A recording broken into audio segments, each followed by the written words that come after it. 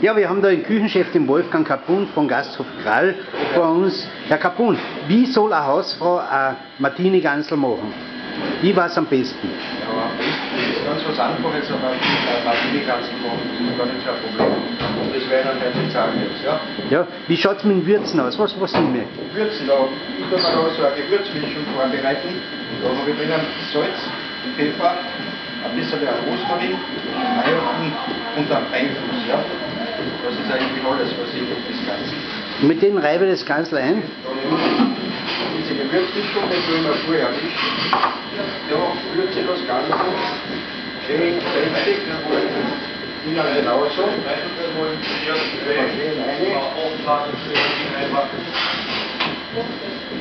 Dann das schön großzügig außen verteilen. Ja. Mhm.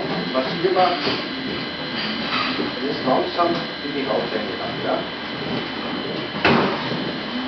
Das ist ja Gansel, ist ja sehr zeitaufwendig, stimmt das? Naja, es braucht relativ lang. Man kann rechnen, das Ganze ist jetzt mit 3 Kilo 50 in etwa. Und da muss ich zweieinhalb Stunden schon rechnen, dass ich das im Jahr braten muss. Ja. Wie viele Portionen kriege ich in der raus? Äh, wir im Restaurant kriegen da vier Portionen raus. Jetzt kriegt jeder ein Viertel von dem Ganzen. Ja. Mhm. Wenn ich es nachher gewürzt habe, ja, Ja. schiebe ich das ins Rohr rein oder? Ich schiebe da ins Rohr rein, aus die ganzen Abfälle, was da drinnen ist, aus dem Lager und aus dem Lager, das tue ich da in die Kasserole rein. Habe ein bisschen an Zwiebel dabei und eine Orangen und eine Apfel ja. Das habe ich mir da auch noch vorbereitet.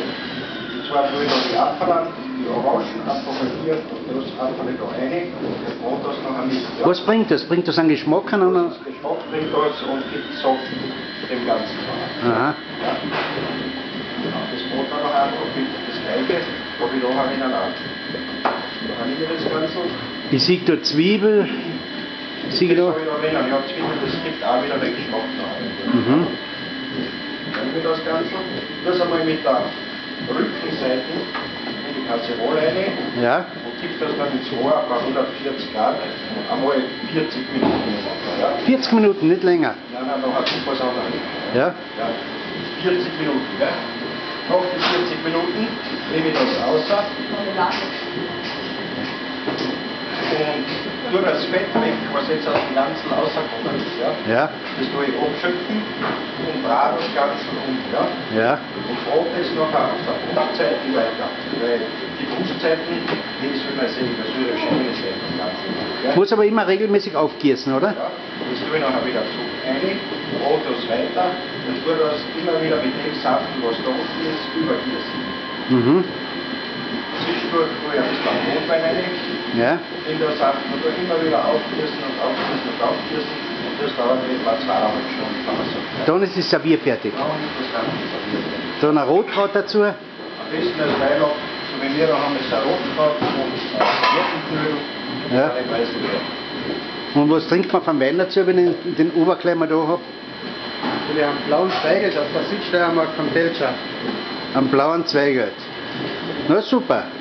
Und das war noch eigentlich schon ein perfektes Gansel. Das war dann ein perfektes Ganze. Ja. Dann sage ich herzlichen Dank. Bitte.